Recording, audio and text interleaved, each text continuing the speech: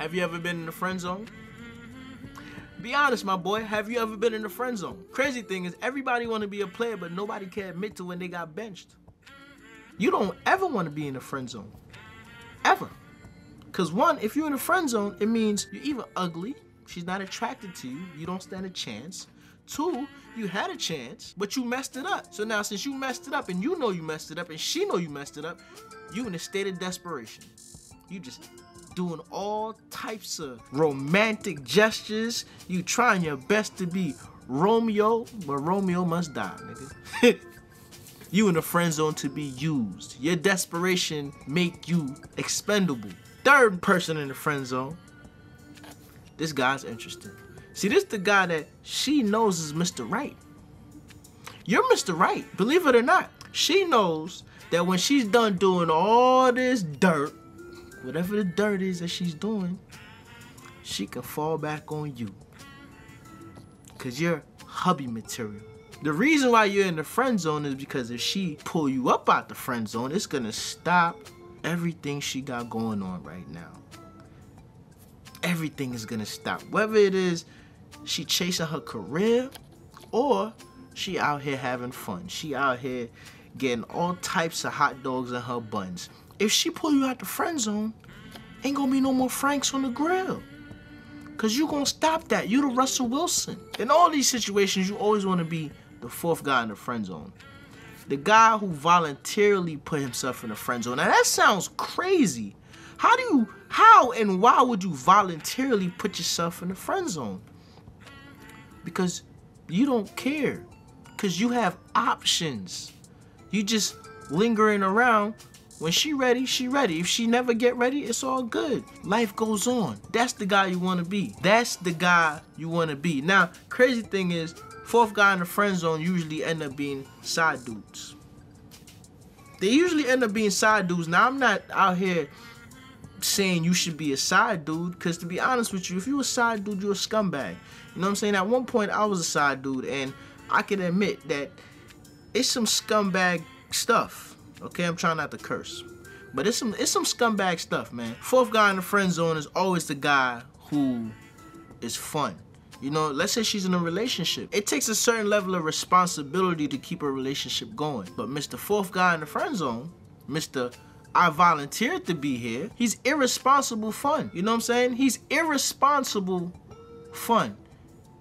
She can talk to him and call him up and he can say witty stuff. You know why he it sounds like everything he says is witty? Cause he don't really care. So she'll be like, yo, why are you so rude? Because I have options. As long as you're not out here calling out her name and stuff. Now that's not that's not witty. That's just being disrespectful. There's a difference. That that's the role I usually play, bro. To be honest with you, when I was out here dating and stuff like that, I never wanted to be Mr. Aggressive. I always wanted to be Mr.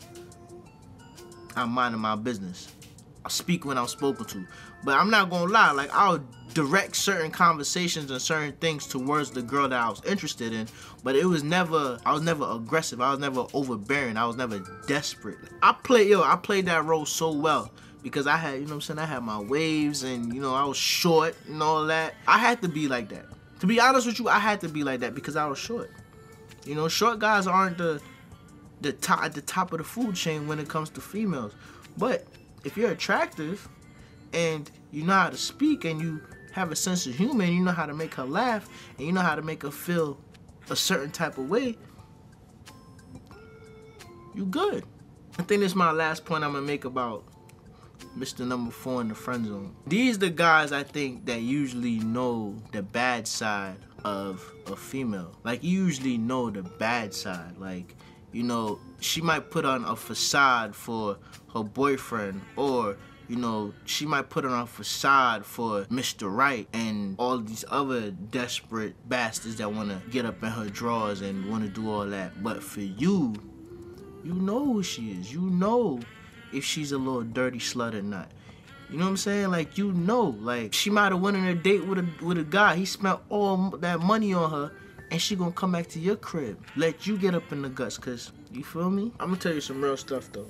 Don't try to be a side dude. Whatever you do, do not try to be a side dude. You know what I'm saying? I'm giving you this information because I know some of y'all are young in in college and in high school and stuff like that, you put yourself in desperate situations and you end up getting hurt. That's when a lot of monsters are formed. Like in high school and college, dudes get their heart broken by some girl that they just throwing themselves at. They turn into animals. And I, I don't want that. I want you to understand. I want you to observe. Like the the guy that I'm describing that places himself in the friend zone, he's an observer.